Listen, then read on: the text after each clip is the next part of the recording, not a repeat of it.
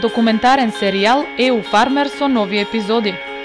Европски стандарди, успешни приказни, ризици и загуби.